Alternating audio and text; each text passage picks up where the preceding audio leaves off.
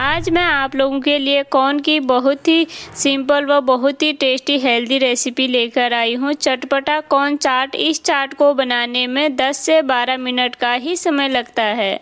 बहुत ही आसानी से बन जाती है। तो चलिए अब हम इस चाट की रेसिपी बनाने शुरू करते हैं। नमस्कार दोस्तों, मम्मी किचन में आपका स्वागत है। कॉर्न चाट बनाने के लिए मैंने दो कॉर्न लिए हैं। हमने इसे के दाने पहले ही निकाल लिए थे।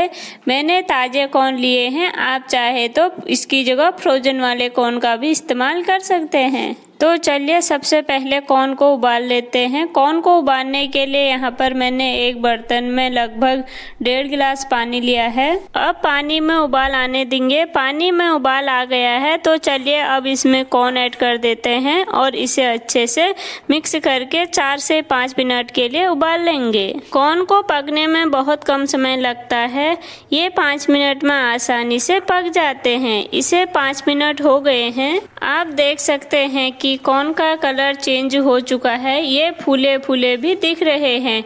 यानी हमारे कौन पक कर रेडी हैं? तो चलिए कौन को एक बर्तन में निकाल लेंगे और गैस को बंद कर देंगे और पानी से सारे कौन को इसे निकाल लेंगे। अब ये गरम गरम कौन को एक मिक्सिंग बाउल में डाल देंगे और इसे में कटी हुई सब्ज़ियाँ और मसाले ऐड करेंगे। और मैंने एक मीडियम साइज़ का प्याज लिया है। इसे मैंने बारीक काट के रखा है और एक टमाटर लिया है, इसे भी बारीक काट के रखा है। अब इसमें स्वादा अनुसार नमक डालेंगे, एक छोटा चम्मच लाल मिर्ची डालेंगे।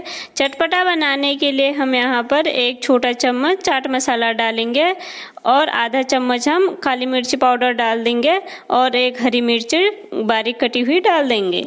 अब सभी चीज़ों को अच्छे से मिक्स कर लेंगे। इसे और टेस्टी बनाने के लिए इसमें नींबू का रस डाल देंगे। अब हम इसमें ऐड करेंगे धनिया पत्ते और सभी चीज़ों को अच्छे से मिक्स कर लेंगे। तो अब नींबू का रस को भी कौन सब्जियों मसालों के साथ अच्छे से मिक्स कर लेंगे। देख सकते हैं कि हमारी कौन चाट कितनी कलरफुल दिख रही है। आप भी मेरी इस रेसिपी को फॉलो करके बाज़ार जैसी चाट कौन घर पर आसानी से बना सकते हैं। और ये खाने में उतनी ही टेस्टी है इस कौन चाट को गर्मा गर्म बनाकर सर्व करें, तभी खाने में ज़्यादा टेस्टी लगती है। मुझे सपोर्ट करने के लिए मेरे चैनल को लाइक शेयर और सब्सक्राइब करें। मिलते हैं एक नई रेसिपी के साथ।